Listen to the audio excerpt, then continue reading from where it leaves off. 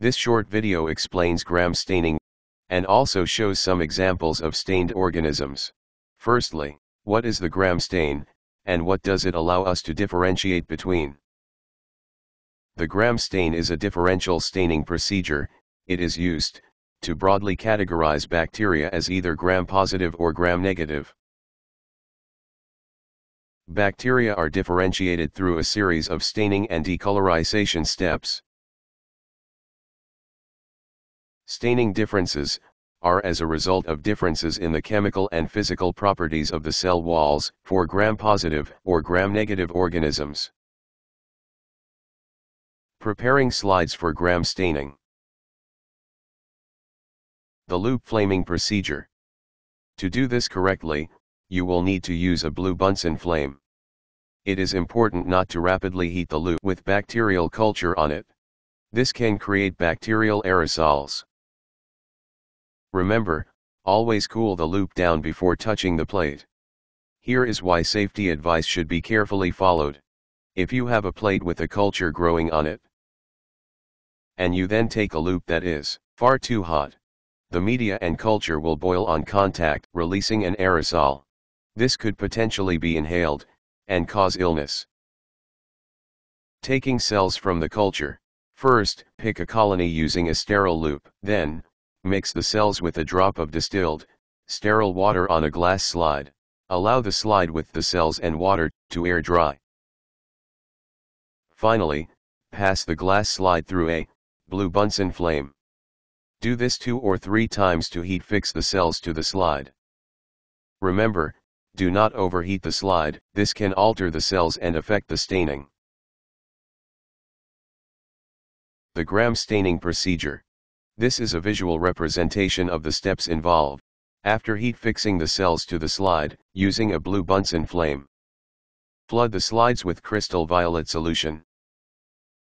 After a minute, wash the crystal violet off with distilled water. Then, flood the slides with iodine solution.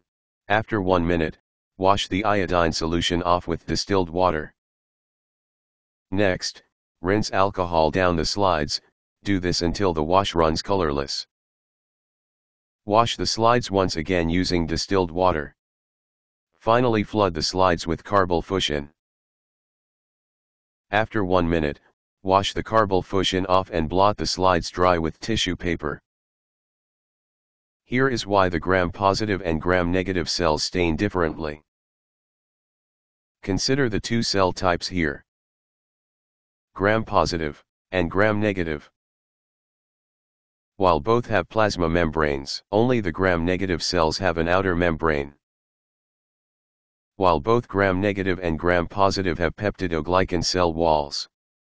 In the gram-negative, this is much smaller than in gram-positive organisms. The thicker peptidoglycan layer in the gram-positive organisms retains the crystal violet complex of the gram stain. However, the crystal violet iodine complex, is washed out of the thinner peptidoglycan layer of the gram-negative organisms. This occurs during the decolorizing stage. The decolorized gram-negative cells are counter-stained with carbol This is why gram-positive organisms appear purple after staining, and gram-negative appear pink. Viewing the stain slides. This will need to be carried out using oil immersion. Take note of the oil immersion lens, this is marked with 100x and oil. When viewing the cells, focus on the edge of the smear when the cells are spread out. Here are some examples of gram stains for the following species.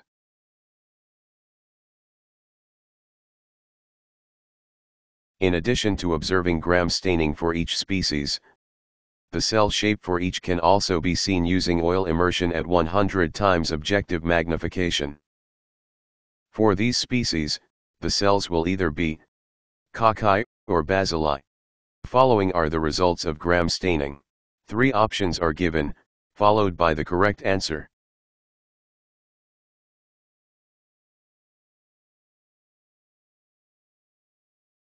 E. coli are gram-negative bacilli.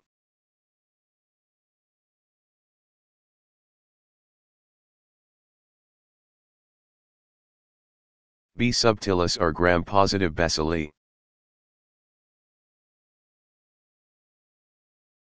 Pseudomonas are gram-negative bacilli.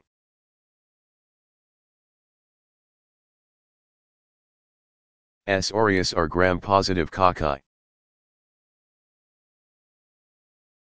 Thank you for listening, and I hope this short video on gram staining has helped.